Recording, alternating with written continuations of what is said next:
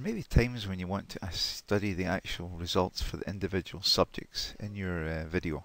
So you can see you've got operator 1, 2, 3, 4 and a stockman here. And it's on the time study view, which means when I go to the summary, of course, I get the basic time study uh, summary. The total time, min, max, number of observations, average time, that type of thing. If I switch it, however, up here, and I change it to subjects, I get presented with these individuals here and that's used to people who are in the study and that's fine no problem. So I can exit out of this. But if I go to the summary now I'm now seeing the summary by operator here right? I see various information here.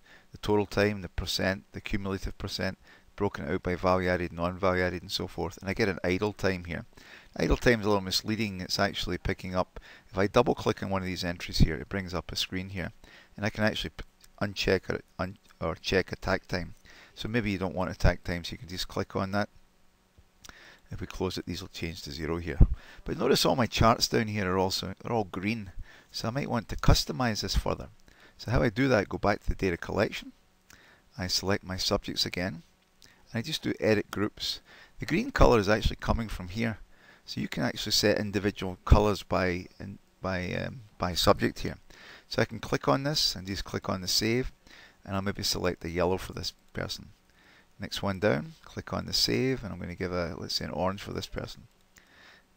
Operator 3. You see what's happening here is I'm making my selections. Those color codes have been changed over here.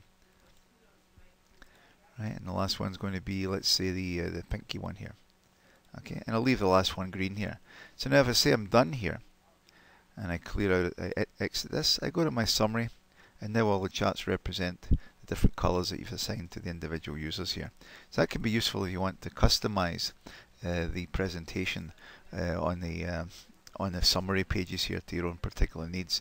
The same concept actually applies to all the different selections you see here like Lean, Kaizen, SMED and so forth and we'll cover those separately.